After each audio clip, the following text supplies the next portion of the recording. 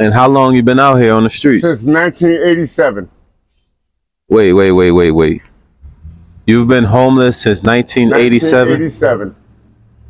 Off and on or straight? Off and on. What's up, guys? Welcome to Philadelphia and welcome to another video bringing you the real life stories of those that are dealing with homelessness and living on the street. Today, I bring you the story of Julius. What's up, y'all? It's your boy Reko the Trainer, and I'm down here in Old City, Philadelphia, and today I'm with Julius Smith. Julius Smith, man. How you feeling today? Uh, better than some, worse than others. Right, I can imagine some days better than others. You're currently living on the streets, correct? Yes. And this is the area that you pretty much sleep and do everything. Yes. And how long you been out here on the streets? Since 1987. Wait, wait, wait, wait, wait. You've been homeless since 1987? 1987. Off and on or straight? Off and on. Okay, damn, that's a long time, man. So, what's the reason that you've been homeless all them years? Because I have no family out here. I'm originally born and raised in Flint, Michigan. But I came to Pennsylvania because my mother has a house out here. But I've been trying to re- relocate with her and I got the house and everything, but I got to sleep out here because they can't relinquish the house to me because they're going through an arbitration. I have no family, nobody. Okay, so Only the people that I know out here on the street that I call my family. okay, so within all those years, you've never tried to use the resources that Philadelphia has? Uh, yes, I have. I tried to use the resources, but I went to the shelter a couple times. But each time I go to a shelter, you got people that want to steal, rob, you know, and take advantage of you because you're there Okay. and you don't know none of them. But they try to take advantage of you. But I'm not going to have that. But I do me, and I try to do me and do me in the prosperous way. Okay. I don't bother anybody. I leave leave well enough alone. I just do what I have to do for me. Okay, cool. So, one of the things that, you know, the people from outreach and things like that, they they tend to say that anybody that's been on the streets, you know, for a number of years is because they want to be out here. Do you feel like you chose to be out here? No, I do not choose to be out here because uh, I was in um I was in uh Columbus Property Management. I had an apartment, but somebody broke in the apartment because I was in Frankford. Somebody broke in the apartment. They took everything I had, and uh, I had to leave because um, people was in the house that wasn't me, and they want to know how the people got in. I was like, good question. I would like to know how they get in here also. But see, it's not my fault, but it's you know, it's it's I think it's the system. But uh I got God on my side, Absolutely. you know, and God's gonna look out for me. He look out for his children. He's gonna make sure that I'm all right. And uh I'm not gonna listen. I'm not gonna let nothing, nothing distort me or nothing dis, dis you know dis disinvolve me. I'm gonna keep moving and keep moving forward and keep my head up. Okay. And so, has drugs or alcohol played a part in you being out here? No, I wouldn't say that because I don't drug. I do drink, Okay. but I drink moderately. okay. And I don't drink heavy. I don't drink to get drunk. I just drink, you know, to solve, solve, you know, I call it solving my problem. Because it helped me get my wheels on turning. Helped me keep thinking. And then I knew what I got to do after that. But Okay. it's always going to get greater later as long as you keep your mind on the positive. Absolutely. So, um, do you know or feel like you have any mental health issues? No, I don't have any mental health. No, I don't have any mental health issues. I do have seizures. Okay. I do have seizures, and I have look. I have a bracelet to prove it. I have seizures, Okay. and uh, I know how to take care of myself. I shower and wash every day. I have to. Because Okay. hygiene is mandatory. Mm-hmm. Just because you're homeless don't mean you got to act and smell like you're homeless. Absolutely. And I listen, I appreciate everything that happens to me, everything, everything that I get, I appreciate it. I don't bother nobody, I don't rob nobody. If I see somebody in dire need or dire distress, I will help them. Even Absolutely. though I have nothing. I will help them. That's a good spirit to have, man.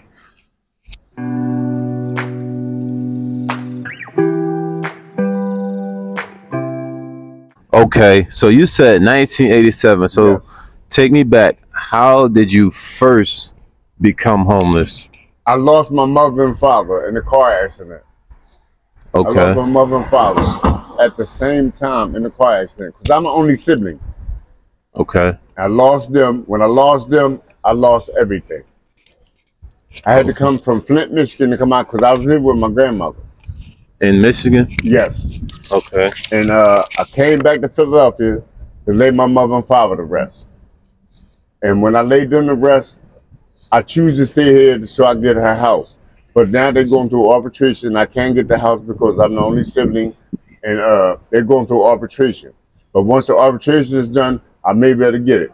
Even though I've been out here since 1987, but I didn't get the house till 1999. But that's neither here or there. But I say that to say this. It will get greater later. As long as you keep God in your heart, your experience above, and keep doing what you got to do for you. How's the treatment here? The treatment here is, I would say, is is fair because don't nobody want to do nothing for nobody that ain't doing nothing for themselves. Absolutely. That's a fact. And that's one of the things I try to touch on. I try to encourage people, you know, to try to do things for themselves because that will further help somebody to want to do something for you. You know what I'm saying? Right. And so have you ever tried to, you know, get like a job through this through the system? Yes, I have. Yes, I have. How's Yes, that I worked have. out? It worked out for you know for a little while mediocre because um being as though that uh I'm a uh, you know I'm a homeless I have no no no, no education but I did graduate high school. But I have you know no uh, no college education nothing you know everybody needs a degree these days to get these jobs because they're not listen they're not offering nobody anything. But you can get a, a restaurant job wash I would wash dishes, mop floors, clean bathrooms, do anything I had to do to take care of me. But don't nobody want to hire nobody. Okay. And you said you you have been in the shelter before, right? Yes, yes. And what was your experience in the shelter? Oh, my experience in the shelter was I stayed there for two weeks in our brother's place. That's at Ninth and Hamilton. Okay. and I stayed there for two weeks. The second week I was there, I went out, stand outside to smoke a cigarette. I came back in, everything that I owned was gone. Mm. And I couldn't I couldn't I couldn't pinpoint nobody who did it. Okay. But uh, I let the security and and the, uh, the staff know that my things was missing, and uh, I never did anything wrong to nobody in there. Why would somebody come and take mine? Mm. And the security they promised to get it back, and this, that, and the other, but I never heard no answer, nothing. So I left. Yeah. But then I went to another shelter, Six Haven Bainbridge. I went to the shelter down there. I stayed there for six months. That was lovely. It was lovely because whenever I would come in, I would come in with food. I would share it with everybody. But then they started getting rowdy, and then, then then they started. You know, it was a it was a, a brawl in there. So I had to leave because I don't want no trouble. I don't want to be be involved in nothing. That's not you know what I'm saying, sufficient for me, that's gonna benefit me. Mm-hmm. I don't want to be involved in it. So I left. And here I am. And I've been here ever since. No one's listen, I've been out here since man too long. Too Okay. long. But I know how to take care of me. As long as I stay stay above water, as you know, stop, you know, the riff raff and all that, then I'm I'm good. I'm No. good. Because I know I'm I'm gonna get mine. I'm Right. gonna get mine because God got my back. Absolutely. Got to keep God first. So when's the last time you've been in a home, or a house, or apartment, The or last time I've been in an apartment was like six months ago. Okay, And the only reason I lost that because they was trying to build it, they was trying to they was gonna knock the building down and turn it into condos. okay, So I had to leave. Not because, you know, I, I wanted to or something I did wrong, but I had to. But Gotcha. they gave me my security deposit back and everything, and uh, and I came out here. Now I have nothing or nobody, but uh, I know how to maintain. okay. Now notice how much love you get, you know, from you know some of the people that's around here, and you know that that says a lot about you. You must be doing some good, you know, as you're out here, and so um, my next question was going to be, you know, how do you go about eating and things like that, and you know, Uh, how I get go about eating is this. I I ask the person, listen, I don't listen, sir or ma'am. I don't want any money from you. Can you find in your heart to help me get something to eat? Please, God will bless you. It will humbly be appreciated. And they will gladly take you to be, buy you something to eat. And that's how I eat. I eat, I, and I eat lovely. I eat lovely. I don't bother nobody, and I make sure they're all right. Cause they'll listen. They con- constantly come back and forth past here where I stay at, past here, and see me, and uh, they will bless me, tell me something to eat, or they'll give me a couple dollars, and I have to get my own. But that doesn't make me who I am. It makes me it makes me stronger because if I got people on my side, it'll always get greater later. Okay. All right. So, you know, some people might say, okay, well, you know, because people are looking out for you and, you know, people are willing to give you stuff, they might look at that and say that you're content with being out here because, you know, people are just going to give you stuff. H- how do you feel about that? Like, what would you say about that? What I would say about that is that, that that's Fabregas because it's not always like that. People say what they want to say because they can be. Eh, I tell them, I tell people constantly, this could be you. This could be you. You know, you're only a paycheck away from being where I'm at. You know what I'm saying? It ain't what you do, is how you do it. You know, as long as you don't bother nobody, be content and stay positive, people will bless you. Absolutely. What you put out into the universe is what you'll get back. Exactly. That's a fact. All right. And for anybody that may see this or to the public, what would you like them to know about you or your situation? Like, what would you like to tell the people? What I would like to tell you people is this. Be positive, stay strong, keep your head up, and do what you have to do for you. It ain't what you do, it's how you do it. Say what's true to your heart. Not what, what you want somebody to hear. Tell them what's real. Absolutely. What do you think is needed to change your situation or give you the life that you you want to live? More, more, more, more housing. More housing. All these build, buildings around here that mm-hmm. need to be that, that y'all tearing down, please build them up and put them into use because they can go to the homeless and be, be and, and shelter some people that really need it because you got men, women, and children out here doing the same thing. That's that's a fact. There's uh all kind of demographics out here. Um, you know, and like I said, some they might say, well, they want to be out here, or you know, they don't want to use the resources, or they don't want to, you know, do what it takes to make the situation better. You know, I'm just trying to find a fine line between what I know from you know from the people and what I know from the resources that's available. So you're just trying to figure it out. What I would say about that situation is that listen, if people choose to be out here, that's because they choose to be out here. They don't want nothing in life. Mm-hmm. And you know what? Life is better than that. Everybody has a choice to make. If you choose to be out here, then May God be with you.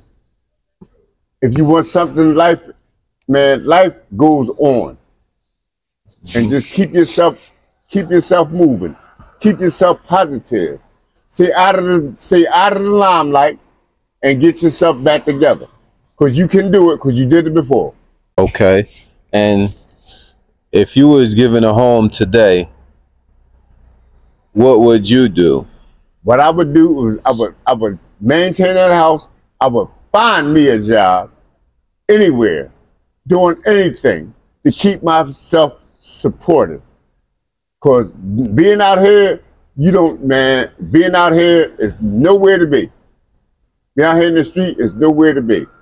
Cause man, people will hurt you, rob you, steal you, hit you, do whatever they want to do, spit on you, whatever they want to do to you, if you allow it. But you ain't got to allow it because you you're bigger than that, hmm and that's the bottom line. Okay. Speaking of that, what's the craziest experience you had out here? The craziest experience I had out here was when I was attacked up in Love Park for sleeping on the bench by six other dudes. Jump up and grab me because I had on I had on some a fresh pair of sneakers. Had on that. They said, "Oh man, I like them sneakers. Can I wear them?" I said, "No, I don't fit you. You don't fit my size." And uh, they jumped on me, grabbed me, threw me down, took my took my sneaks, Mm, and beat me. wow. I woke up in the hospital. I woke up in Jefferson Hospital for six days. That's crazy. What advice would you give to anybody so they won't get in a situation like this? What I would, what advice I would give you is listen: maintain, keep yourself together, stay with your family until you get your own. Talk to your family because they're the only ones you can talk to. You don't have no friends. Your friends are your enemies because they're trying to get what you got. Leave it alone. Do what you got to do for you. Self-preservation is the first rule of nature. Mm. Okay. And um one more thing. I know you see a lot of different people out here. Um, you know, being in Old City, there's so many different people. So how does the people because some of the people are not even from here. So overall, how do you feel like the people treat you know, you being a vet, a homeless vet out here, how do you feel like the people treat the people out here overall? I think majority of the people they treat you right. They treat you right down here because conversation has never been offending. You know, it ain't what you do or how you do it, it's what you say out your mouth. Don't disrespect nobody, stay in your own lane, and you will get blessed. Absolutely. And how, how, how does it make you feel when somebody do stop and talk to you or, you know, is willing to have a conversation with you? It makes me feel good. It makes me feel that somebody is actually listening. Okay. It feels very good because uh, strangers come up and ask me, "Oh, how are you doing?" They want to shake my hand, and they sit and they want to sit and talk to me. They will sit down next to me and talk to me. Then bless me. We, we had hours of conversations out here on this step. Mm-hmm. And you know what? I say that to say this: everybody is not a bad person. Absolutely. Um, that's one of the things I try to tell people, man, the importance of, you know, just having a conversation with the people, letting them know that, you know, we care.